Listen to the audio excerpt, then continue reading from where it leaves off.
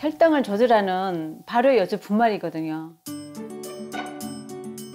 제가 잘 아는 손님이 발효 여주 가루가 좋다고 해서 먹어봤는데 당뇨 증상이랑 무기력증이랑 붓기, 갈증 아주 적게 바뀌었어요. 식단 조절이랑 운동까지 같이 해서 혈당이 많이 내려왔어요. 어. 여주는 여주인데 건강 모범인이 먹는 건 발효 여주 분말이었습니다. 아. 아니 근데 여주 그러면 보통 오이처럼 칠 7, 8월에 열리는 그 제철 그 시- 채소로 알고 있거든요. 네, 맞습니다. 그래서 그때 수확해서 말려놔야 일년 내내 섭취가 가능한데요. 이 여주는 말이죠. 수분이 약 90%에 가깝기 때문에 수분 함량이 높은 식물이라서 건조하게 되면은요 크기가 이렇게 많이 줄게 됩니다. 이 또한 말린 여주는 대부분 차로 우려 드시는데요.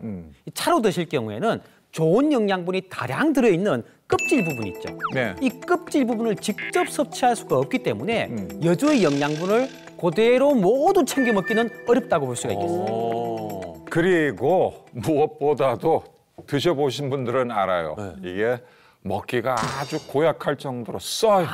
써도 너무 써. 아, 그 정도로 써요? 네, 이제 그런 문제들을 이제 해결하기 위해서 이 발효 여주 분말은 이제 제철에 이제 여주를 수확해서 이제 껍질째 이제 갈아서 발효를 시켜서 이제 만들게 됩니다. 아하. 그렇습니다. 네네. 어쨌든 이렇게 여주를 발효하게 되면 이 체내 당 흡수를 지연시키는 이 항당뇨 능력과 또 우리 몸을 건강하게 하는 이 항산화 능력이 더욱 높아지기 때문에 그냥 먹는 여주보다는 더 큰 이제 당뇨 예방과 관리 효과를 보실 수가 있습니다. 오호. 당뇨에 좋다고 하니 맛이 궁금합니다. 아, 이거 뭐 맛을 좀 볼 수 없나? 이거 뭐 이거 수- 네, 주- 그래서 제가 부끄럼 많이 타시는 숙기 없는 숙기 씨를 위해서 바로 여주 분말탄 물을 준비했습니다. 오. 자 그러면 숫기 없는 숙기 씨와 함께 건배를 해봐야겠군요. 드셔보세요. 예. 숙기 없는 저는 숙기 씨. 이 색깔하고 여주의 쓴맛하고 이렇게 같이 연결을 시키니까 고정차가 머릿속에 연상이 되거든요. 네, 그렇죠. 아니, 근데 드셔보시죠.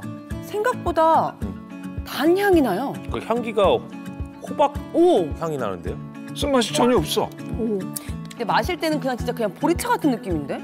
구수하기도 하고 어. 음. 그래서 달, 그냥 약간 달콤하기도 하고 물로 맛있어요. 먹기 부담이 안 돼요. 김숙희 씨 어떠세요? 달달한 맛이 있는 것 같아요. 엿질근 맛 같은. 그러니까 딱 식혜 맛. 그죠? 네. 네. 아 맞아 맞아. 취향 저격이네요. 예.